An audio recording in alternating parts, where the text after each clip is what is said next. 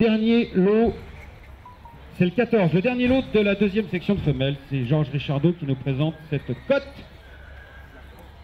En l'occurrence, Fleur de Côte, une fille de l'Or du Sud, encore très présent à ce concours l'Or du Sud, grise, avec une mère par le rare Balou du Camp, mais qui avait eu un bon cheval dont je ne rappelle plus le nom, chez Guichérel, Balou du Camp, fils de Lou Piguette.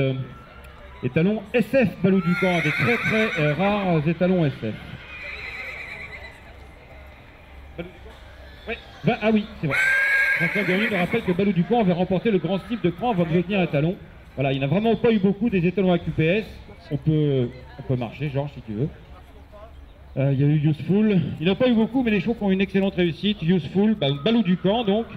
Il y avait eu Cupidon qui dépasse. Bon, ça, c'était moins bien qui dépasse. Mais après, il y a Nider, hein, qu'on connaît tous, qu'on aime beaucoup. Et euh, voilà de nous le jeune étalon. Lune de côte, la mer. Est une autre souche que celle qu'on connaît de, chez Georges Richardot. C'est son autre, son autre branche. Mais il y a, dans une branche qui est efficace également. On note notamment Brin de côte.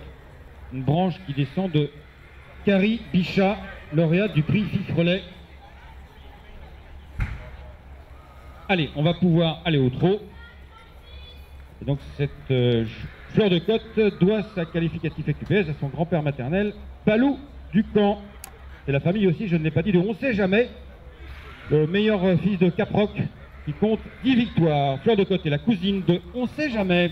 Voici donc pour le 14 qui conclura cette deuxième section de femelles QPS. Alors, je vais vous donner maintenant l'arrivée provisoire et dans le désordre, puisque dans l'ordre du catalogue uniquement, de la première section